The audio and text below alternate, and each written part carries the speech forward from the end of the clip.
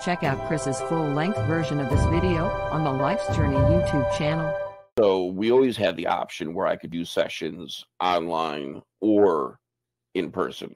So sad day, I got rid of the the two offices and I figured that that was the end of my dream an online version of what I wanted to do in the physical version. And that's really the the message that, that I want to get out. And and I, will um, do a screen share and, and show you a couple of, of the rooms. But what I realized from a business perspective, and, and that is one of the things that I also do is, is uh, business coaching and consulting.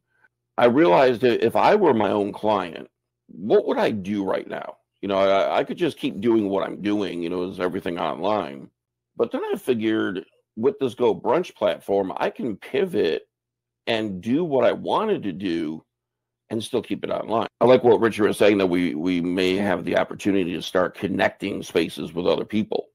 Uh, I, I, think that would be an awesome uh, addition because then we're looking also, um, you know, from a business model of collaboration.